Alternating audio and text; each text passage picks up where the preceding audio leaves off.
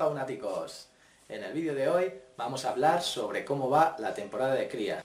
¡Vamos allá!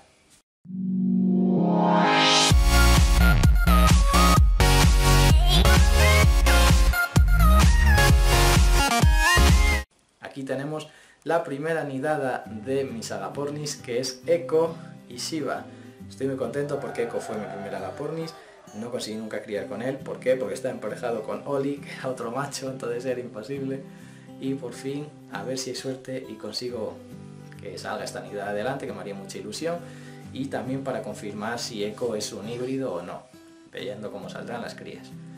Aquí lo que he hecho ha sido como ya le iba a quitar los huevos a la diamante de Go, se los he puesto aquí en el nido Sagapornis a modo un poco de experimento, ya que quizás si la diamante de gol no los había empezado a incubar, pero hubiese alguno que estuviera fecundado lo que fuera, pues igual me los incubaba la Agaporni y los sacaba adelante.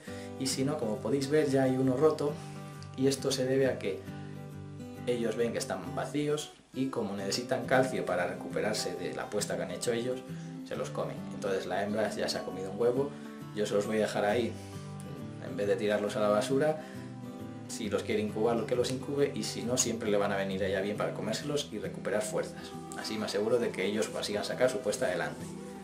Ya tiene tres huevos, así que este momento es en el que empieza a incubar. Ya he podido comprobar que los huevos están calientes, así que eso quiere decir que ya están incubando. Y veremos, hoy ha puesto el tercer huevo, así que mañana no, pasado puede que pongan otro, a los dos días otro, a ver si ponen unos 5 o 6 huevos, es lo que suelen poner, por lo menos las parejas que yo he tenido. Así que veremos qué tal evoluciona y os lo iré contando al canal. Estoy muy ilusionado porque por fin comienza esta temporada de cría y ninguno de los pájaros que tengo ahora mismo había criado, así que veremos cómo va la cosa. Las demás parejas todavía no se han animado, así que espero que pronto lo hagan. Pues eso ha sido todo amigos. Ya tengo un montón de vídeos de ellos, si tenéis alguna duda, algo específico que queréis que os cuente, dejadlo en los comentarios. Dejadme un like si os gusta, que esto siempre me anima. Suscribiros si no lo estáis y compartirlo para que llegue a todo el mundo. Un saludo faunáticos.